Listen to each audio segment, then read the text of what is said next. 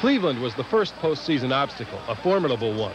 But the Bulls pulled off a game one ambush that sent the series flying toward a fantastic finish in the deciding fifth game. Craig Ehlo in the waning seconds put the Cavaliers ahead 100 to 99. Three seconds left.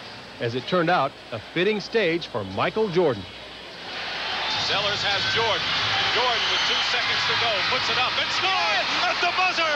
Michael Jordan has won it for Chicago. Won a ticket to New York where they began a best of seven set with the Knicks and began it as they had the Cleveland series with a surprise victory. That win jet propelled a worn-out Bulls team to a six-game series triumph and a date with Detroit. Michael Jordan a steal. Jordan on the drive in on Oakley for the dunk. The Pistons, well rested and confident, figured to blow past the Bulls no sweat. But Chicago did the same thing to them they'd done to Cleveland and the Knicks in those series openers. The Bulls would be the only team able to beat Detroit in the postseason. They did it twice. But after a blistering start in the sixth game on June 2nd, fatigue finally caught up with Chicago. Michael Jordan, whose virtuoso performance throughout the playoffs was electrifying to watch, flat ran out of gas, and the Bulls ran out of time. We asked a lot of guys to mature and become better players, and they did that. It may have took them a whole season, but you know that, that that's part of learning. You know, you have to have time to learn, and once the playoff hit, we became healthy again. We we uh, regained that focus once again, and we started to roll and go further than anybody expects us to. Uh, I think we really matured as a team, and. Uh, you know, we know that over the summer we got to make some changes to make us a better team, to take us that extra step. Well, there weren't many changes, but there was one that shook the franchise. Doug Collins firing, a move that some people are still trying to figure out. But the major beneficiary of that decision was a man who for a long time has wanted to be a head coach in the NBA. Tonight, he'll be exactly that, Phil Jackson. When the Bulls made their surprising decision to fire Doug Collins, Phil Jackson was an obvious choice to replace him. Jackson brought with him to the job every credential but NBA head coaching experience. A 13-year NBA player, five years a CBA head coach, and then two years as a Bulls assistant. What he'll bring specifically to the Bulls this season is a simplified offense designed to take some heat off Michael Jordan and to keep everybody happy. With a 30-point score, you don't have as many shots for everybody else we don't think that Michael Jordan should give up a lot of shots. He's not taking that many shots in the ball game. He's getting a lot of free throws. A lot of his points are free throws. He's not overshooting the ball. It's just that we don't have that many shots to distribute around. So that's one of the reasons why we're trying to get more shots. Get more shots, get the ball up the floor faster, take a little uh, uh, less time getting a shot up, get the best shot you can get before the defense arrives. In the fourth quarter, if we need a Michael Jordan to help carry us over the hoop, maybe we can do it then. But Phil Jackson's emotions may be harder to hold in check later tonight when the lights go down and he's introduced to this sellout crowd as the head coach of the Chicago Bulls.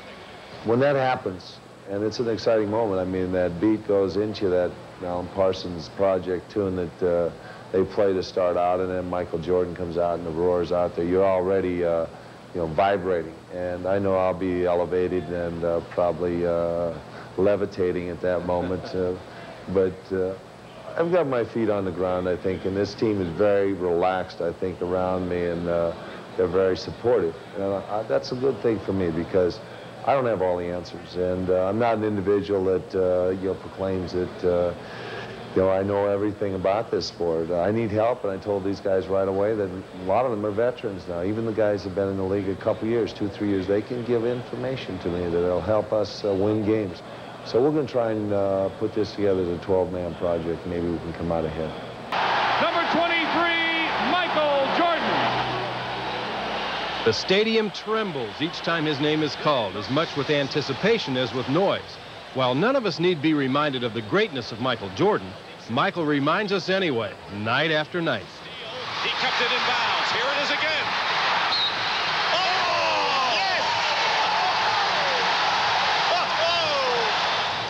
Oh! Jordan's early explosion against the Pistons in Game 6 last year proved once again that he's virtually indefensible. But his fatigue at the finish proved again that he can't do it all by himself. Phil Jackson plans to turn Michael loose again this year with less structure on offense in hopes that other players will become more involved. Jordan has no problem sharing the Bulls spotlight.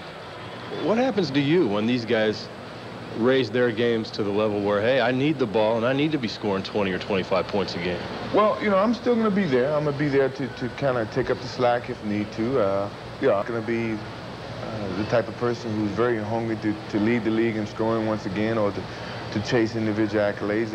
I, am not that type of person. I'm, right now, I'm more or less geared towards team success. And, you know, I love to see Scottie make an all-star team or Horace make an all-star team, you know, other players on the team to make an all-star team, to just to get that feeling and that, uh, that I guess, uh, accomplishment of achieving something that, you know, a lot of people may not ever thought they could achieve. Uh, you know, but when they start to achieve individual status, status then certainly I'm not going to be uh, jealous of these guys because I want them to do well. I imagine the freelance game is probably better for you anyway, though. I think the freelance is better for a lot of uh, our players on our team right now. Uh, you know, Scottie Pippen, a great open court player. You know, Horace is young and open court player. John Paxson is always a spot-up jump shooter, uh, good penetrator, and now then, and Craig, you know, what can we say about Craig and his threes? The new guys, it's pretty easy for them and pretty simple for them to adapt to that style of game without the pressures of learning plays. And, uh, you know, they've really done a great job preseason. And, and, to see how well they adjust to the season is still going to be somewhat of an um, experience for them and for us. But, you know, I think they're very capable of doing a good job. With the beginning of the season, one of Michael Jordan's biggest problems is getting in and out of NBA arenas in one piece. He's unquestionably the most sought-after autograph in sports.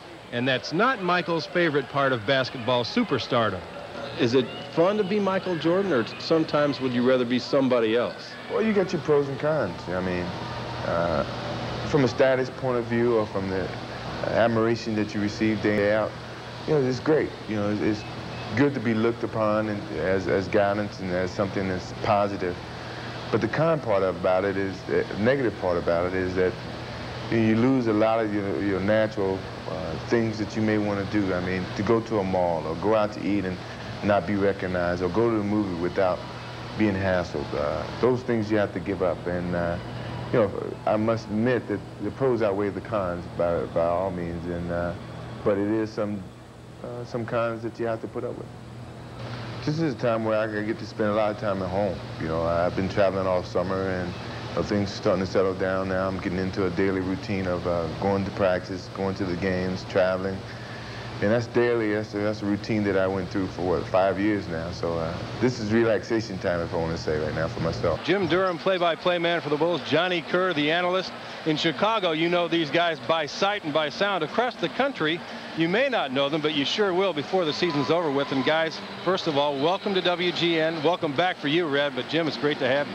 Well, I tell you what, Dan, you know, I think uh, all of America is going, going to be in for a great treat. Uh, they're going to see an NBA game in Chicago Stadium from our point of view, from a Chicagoan's point of view. And uh, this building sold out the way it is tonight for this game. This presentation that they have here is probably as fine, as fine a presentation as you'll find anywhere in the NBA. And we can expect it every night they play. Every night, 41 times here. It's unbelievable. And John, you've gotten some mail you were talking about before we went on tonight from people across the country that uh, are champing at the bit to see these games on WGN. Well, not only will they get a chance to see the great presentation that Jim and I see uh, all the time here, Dan, but they'll get a chance to see the super, one of the top superstars in the league, and that's Michael Jordan. I get the greatest job in the world. I get to watch him 82 times a year free. You guys are going to really enjoy what you see this year, believe me.